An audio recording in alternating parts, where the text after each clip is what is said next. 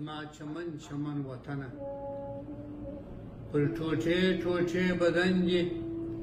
ډلې ګرځي د کارګانو زما چمن چمن وطنه څنګه کور شوې د زاغانو بیا یوري په لمن کې له اسمانه سره اورونه بیا دې وسپړل پر مځکه په چینو کې تنورونه پر ګلڅانګو دې خپاره دي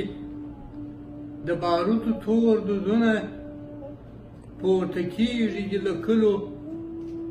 سوي سانګي فریادونه بیا میدان سوې د تاختونو د قدرت د لیونیانو زما چمن چمن وطنه څنګه کور سوې د زاغانو نن دې بیا د کور واکدار دی چې ستا نیلي یې سوځلي نن هغه سړی سردار دی چې یې وینې بهولې چې پرون به یې لوټلې هغه ننګ هم ښاغلي چې تبا یې کړه ستا مینه هغه بیا درته راغلي بیا یې واغوستل یې زغري د ازل د ارمارانو زما چمن چمن وطنه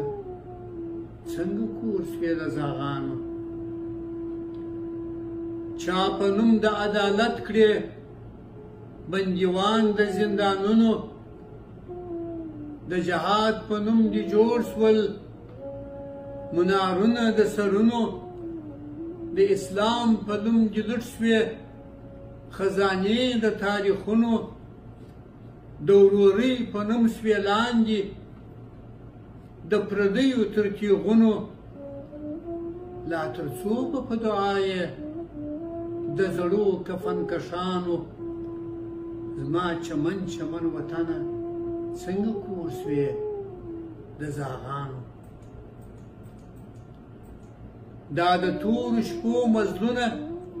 وا کله به ختمیږي دا ورک سوي کاروانونه وا کله را رسیږي د تالې تور سوی لمر دي وا کله به ځلیږي ورځ به کله کور ته راسي شپې به کله سبا کیږي لا تر څو پر پل روان یې د ازل د ګمراهانو زما چمن چمن وطنه څنګه کور سوې د زاغانو یو په سپینو جامو غل دی چې قاتل دې د خپل پلار دی هغه بل د پردي زوی دی د لشکرو چې سالار دی دا غلام درته راغلی ستا پر مینه چې بادار دی ستا شمله یې د لوټلې چې په ښار کې دې واکدار دی لا به څو ژوندی په ګورې د لستونې د مارانو زما چمن چمن وطنه څنګه کور سوې د زاغانو لا قسمت به دې تر کله د تیارو غېږې ته ځغلي لا به وژني هغه خلک چې یې شمې لګولي لا تر کله ډېوې باسې له خپل ښاره له خپل کلي مدرسې به دې تر کله په تیارو کې وي ساتلي